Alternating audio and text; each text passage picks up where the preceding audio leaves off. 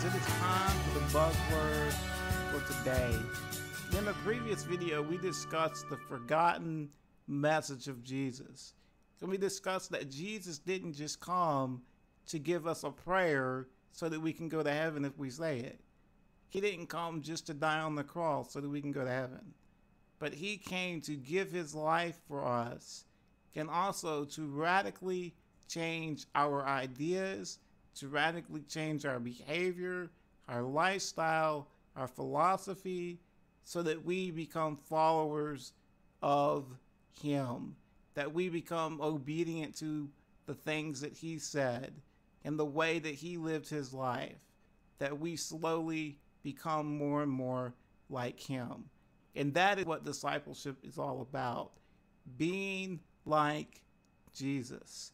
And the discipleship process is a circle we discussed that we are being discipled through the Word of God and through prayer and through leaders that we allow to influence our lives, whether they be small group leaders or pastors or good Christian friends or Christian parents.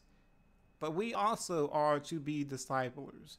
We are to be helping other people discover the forgiveness of their sins through Christ, but also helping them to experience this radical change of thought and radical change of philosophy and behavior through faith in Jesus and through following in his ways.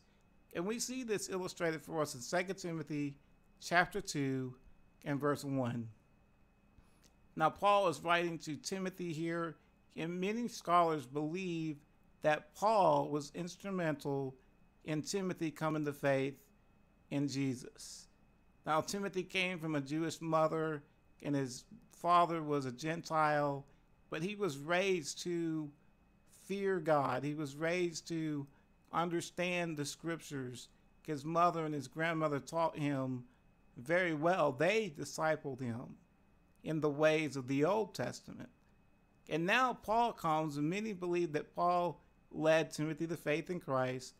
Either either way, Paul became a disciple maker to Timothy. And this is what he tells Timothy to do. You then, my child, be strengthened by the grace that is in Christ Jesus. And what you have heard from me in the presence of many witnesses, entrust to faithful men who will be able to teach others also. So, what Paul said to his apprentice, the one that he was discipling, is he told Paul, uh, Timothy for himself to make disciples as well, entrust into other people that faithful message that you heard from me. And Paul got that message from Jesus. And we need to understand that there is a cycle of discipleship, that we're being discipled, and that we're making disciples. And that is how the kingdom of God grows in our world. There is a lot of darkness in our world. There's a lot of evil and a lot of hate. But how are we going to combat that? Through making disciples. And if every one of us make disciples, then that spreads globally. And we need to be involved locally and we need to be involved globally. And we need to be the kind of people that are trustworthy in our discipleship making. We need to be the kind of people that are spiritually minded with a Christian worldview, that we are gospel centered, that we're building friendships with people, and that we're sharing with them the hope that we have through Jesus Christ. We're sharing with them how they can be like Jesus. And those that have already made the decision to follow Jesus, we're there for them to be a prayer support. We're there to be accountability to them.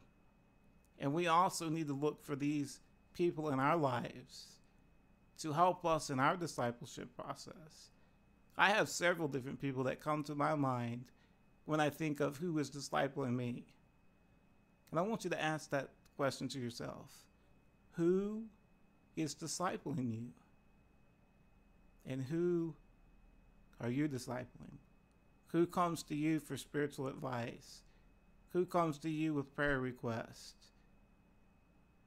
they're the ones God's called you to disciple. How you doing with that?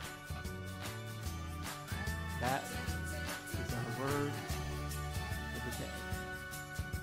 Make disciples.